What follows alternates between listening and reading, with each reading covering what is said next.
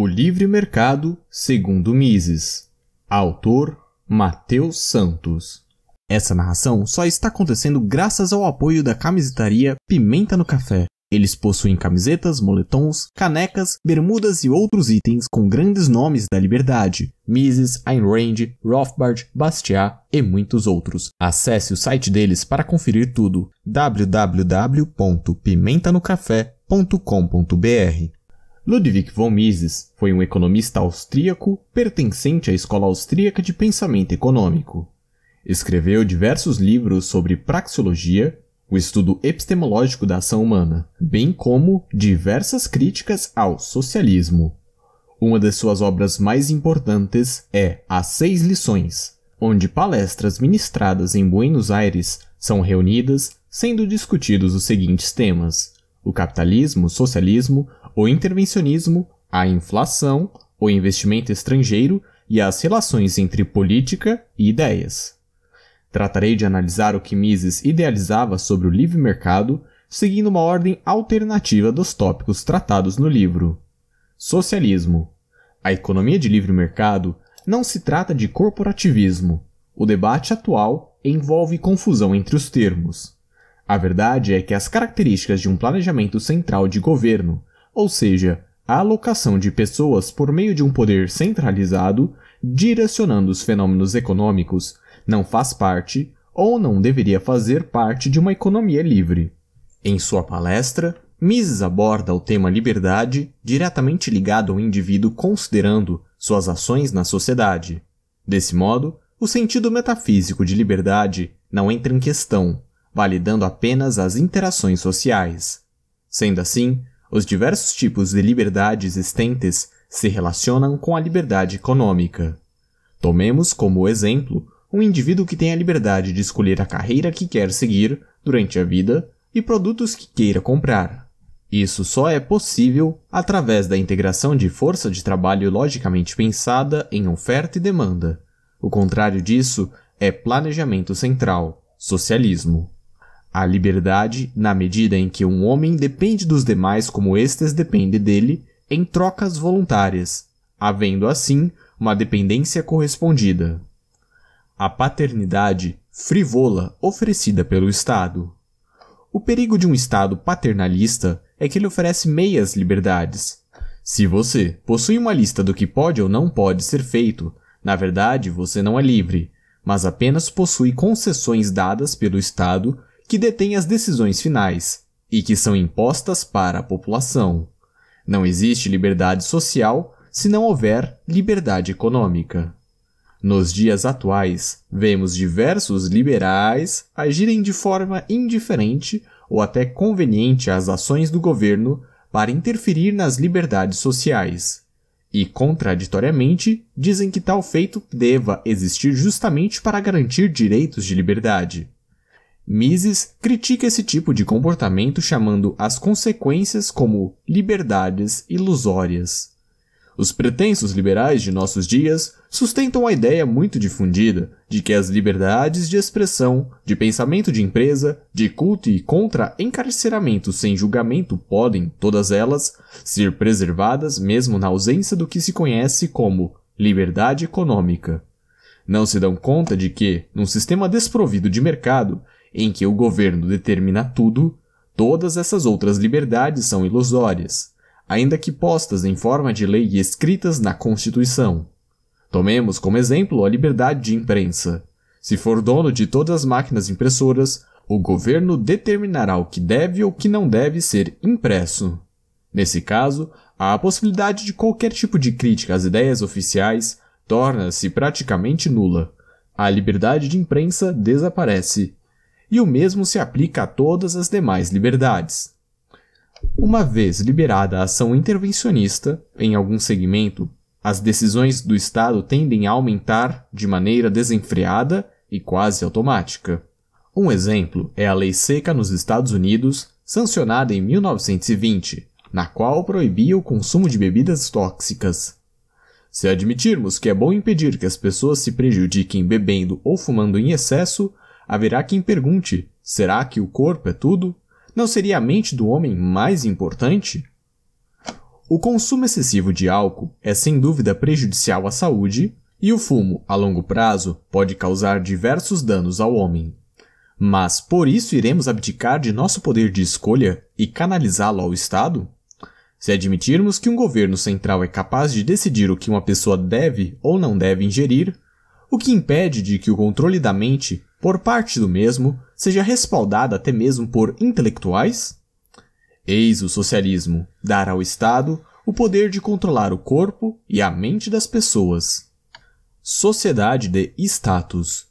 As diferenças entre os cidadãos de uma sociedade capitalista não são como se verificam numa sociedade de status como era, por exemplo, na Idade Média, em que famílias de aristocratas poderiam ficar séculos com toda a fortuna da nação. Entretanto, na sociedade capitalista é observado com clareza a mobilidade social. A mobilidade permite que pessoas pobres tenham a chance de enriquecer e que pessoas que herdaram grandes fortunas tenham a chance de ficarem pobres. Cálculo econômico. A questão do cálculo econômico é uma das questões principais sobre a impossibilidade de haver um planejamento central do governo do ponto de vista econômico. Os teóricos do socialismo jamais suspeitaram que a indústria moderna, juntamente com todos os processos do moderno mundo dos negócios, se basearia no cálculo. Os engenheiros não são, de maneira alguma, os únicos a planejarem com base em cálculos. Também os empresários são obrigados a fazê-lo. E os cálculos dos homens de negócio se baseiam no fato de que, na economia de mercado, os preços em dinheiro dos bens não só informam o consumidor, como fornecem os negociantes informações de importância vital sobre os fatores de produção, porquanto o mercado tem por função primordial determinar não só o custo da última parte do processo de produção, mas também o dos passos intermediários. O sistema de mercado é indissociável do fato de que há uma divisão mentalmente calculada do trabalho entre os vários empresários que disputam entre si os fatores de produção, as matérias-primas, as máquinas, os instrumentos e o fator humano de produção, ou seja, os salários pagos à mão de obra. Esse tipo de cálculo que o empresário realiza não pode ser feito se ele não tem preços fornecidos pelo mercado. A sequência lógica do pensamento é: com o planejamento central de governo, não há preços, sem preços, não há cálculo econômico que, consequentemente, influenciará na inutilização de indicar projetos ou produtos mais vantajosos. A aplicação de um regime militar a todo o sistema de produção faz parte de um planejamento governamental. Um plano único de alocação de recursos e pessoas para ditar o que deve ser produzido, consumido, falado e pensado. Sem dúvidas, o sistema socialista proíbe a liberdade fundamental do indivíduo, já que tudo depende da sabedoria, dos talentos e do caráter dos que constituem a autoridade suprema. Sendo assim, socialismo é o oposto de liberdade individual e econômica. Intervencionismo. Há bons anos é discutido qual o tamanho ideal do Estado para que ele seja eficiente ou se realmente precisamos de um Estado, por mínimas que sejam, suas funções e campos de atuação. A Escola Austríaca de Economia possui grandes economistas com viés abolicionista do monopólio da força. Mises, ao contrário do que muitos pensam, não se declarava a favor do ódio ao Estado ou de sua aniquilação. Em As Seis Lições, deixa claro seu posicionamento, dizendo que o Estado deve existir, mas suas funções devem ser mínimas e estratégicas. Os que discordam dessa definição das funções do governo poderão dizer: Este homem abomina o governo. Nada poderia estar mais longe da verdade. Se digo que a gasolina é um líquido de grande serventia útil para muitos propósitos, mas que, apesar disso, não a beberia, por não me parecer esse o seu uso próprio para o produto, não me converto por isso no inimigo da gasolina nem se poderia dizer que odeia a gasolina. Digo apenas que ela é muito útil para determinados fins, mas inadequado para outros. Se digo que é dever do governo prender assassinos e demais criminosos, mas que não é seu dever abrir estradas ou gastar dinheiro em inutilidades, não quero dizer que odeio o governo. Apenas afirmo que ele está qualificado para fazer determinadas coisas, mas não o está para outras. Especula-se que Mises, no decorrer dos anos, tornou-se mais adepto à ideia da possível inexistência do Estado, mas nunca declarou em alguma de suas obras. Sendo assim, ele era minarquista. Acreditava que o governo possuía funções principalmente de defesa contra ataques violentos e que não deve jamais interferir na economia, tentar empreender ou coisas do tipo. Para Mises, o mercado se autorregula e reajusta à medida em que o processo da economia livre acontece. Acredito que detalhes como esses não possuem tanta importância, desde que as teorias e os ensinamentos possam ser filtrados e absorvidos. Economia mista e intervencionismo. No cenário atual de intervencionismo, observa-se duas formas diferentes de ação estatal: a tentativa de empreendimento estatal e a ação intervencionista de fato. A principal vantagem que o Estado leva sobre o indivíduo é a da garantia de continuidade por meio que seja a crise deficitária. Não lucra, mas sobrevive à base de tributação da população. O investidor privado vive em outra realidade. Se não houver demanda, lucro e domínio sobre sua propriedade certamente falirá. Os exemplos dados são chamados de economia mista. Considerando o Estado e suas funções restritivas determinadas pela divisão dos poderes, é sabido que, em diversas situações, o governo ultrapassa o empreendimento atingindo o intervencionismo. Sendo assim, intervencionismo consiste em o governo não se restringir à atividade de preservação da ordem, interferindo nos fenômenos de mercado como preço, juros e padrões salariais. A gravidade disso se encontra na escolha de alocação de recursos do empreendedor privado. É feita à vontade do Estado e não a dos consumidores. A única expressão que é observada nesse processo é a vontade do governo de restringir a supremacia dos consumidores, devidamente respeitada na economia de mercado. Um exemplo claro de intervencionismo é o tabelamento de preços, medida que a maioria dos governos utilizam. O controle de preços é um escape para quando o governo inflaciona a moeda e a população reclama do recorrente aumento de preços. Funciona da seguinte maneira: suponhamos que o preço do leite começa a aumentar constantemente. A população reclama e o governo decide estipular um preço fixo tabelado para esse produto. Vamos entender o gravíssimo problema por trás dessa medida politicamente populista e economicamente irracional. No momento em que há o tabelamento, aumenta-se a demanda e o produto diminui.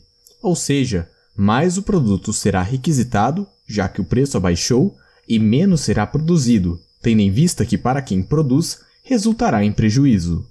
Como se não bastasse, o tabelamento que até então estava presente apenas no preço do leite, com o tempo irá se expandir para outros produtos, até a situação ficar insustentável e houver o completo intervencionismo, porque o governo, na tentativa de resolver a situação, tentará fazer com que o produtor de leite volte a produzir da mesma forma que antigamente.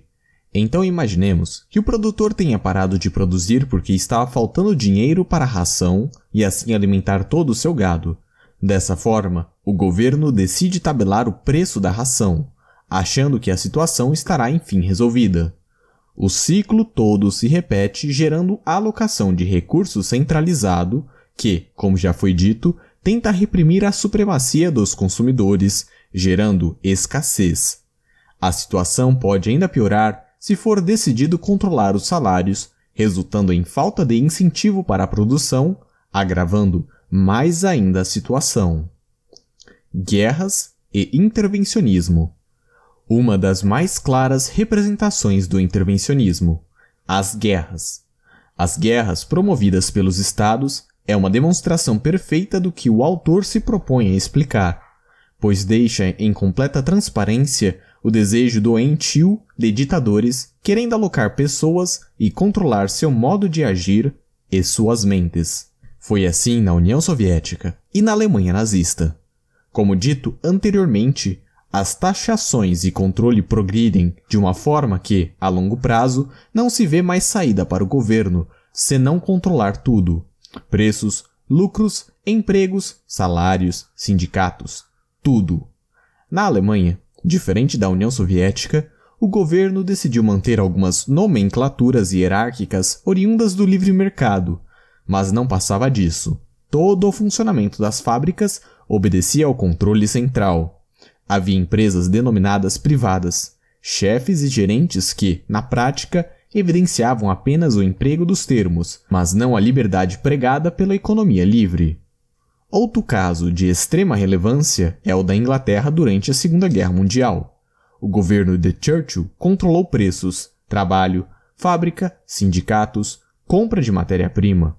Curiosamente, o que tornou a economia do país socialista não foi o Partido Trabalhista, mas sim um conservador.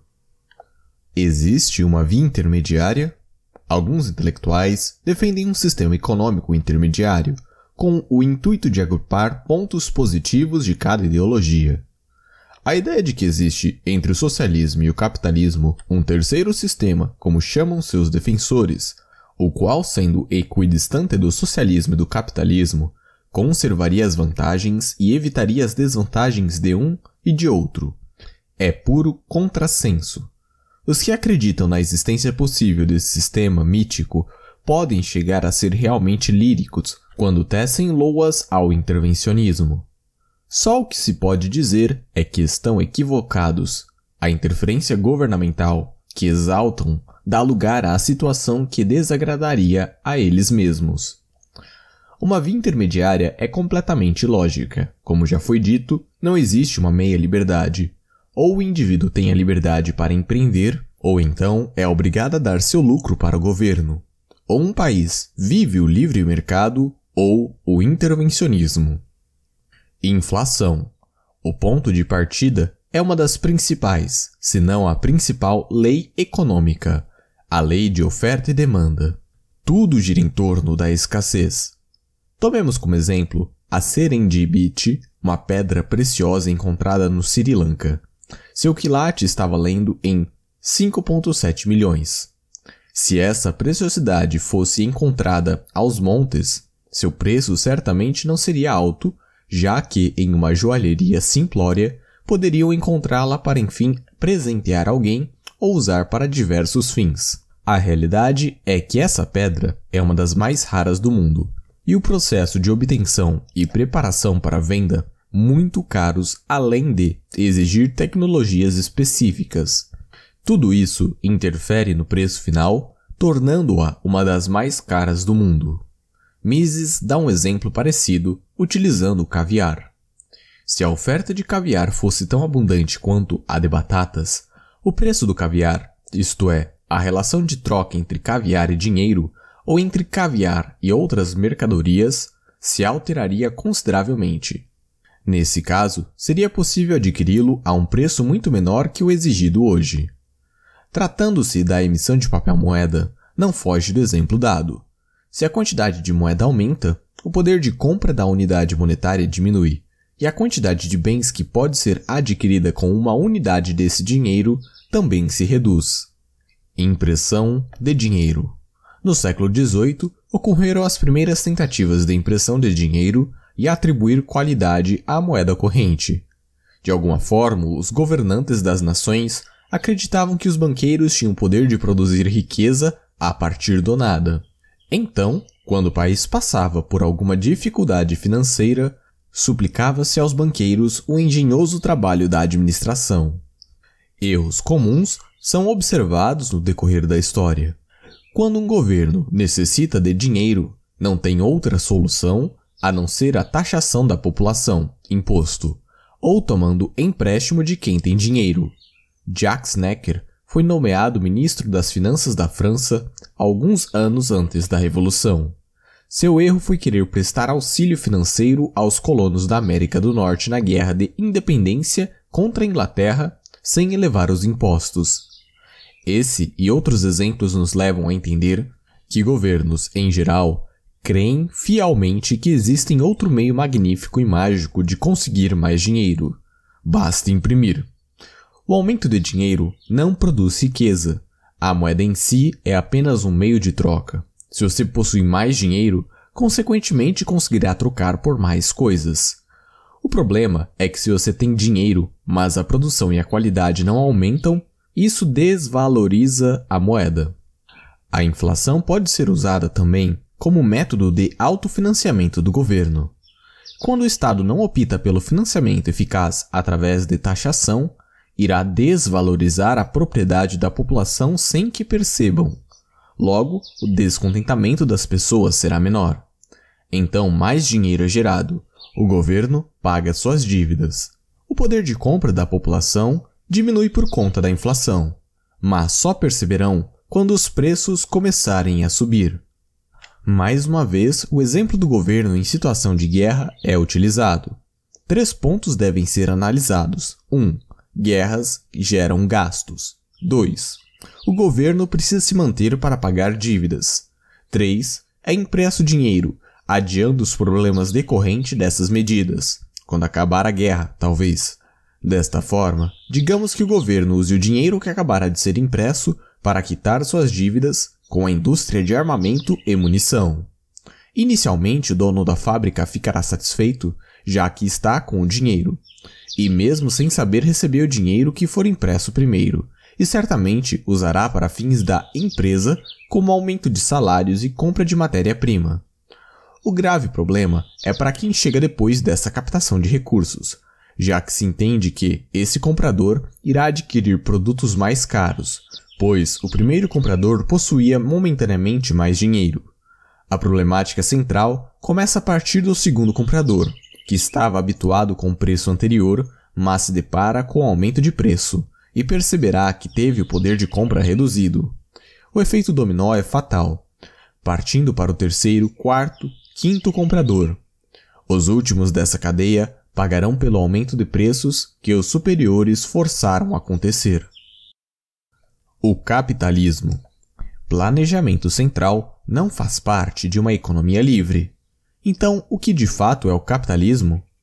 Uma das questões levantadas por Mises é acerca da soberania dos clientes em relação às empresas. Quando se pressupõe ou se afirma a existência de uma diferença entre os produtores e os consumidores dos produtos da grande empresa, incorre-se em erro grave. Os que pensam que a grande empresa detém enorme poder também se equivocam. Uma vez que empresa de grande porte é inteiramente dependente da preferência dos que lhes compram os produtos, a mais poderosa empresa perderia o poder e a influência se perdesse seus clientes. Ao invés de intervencionismo, há liberdade de empreender.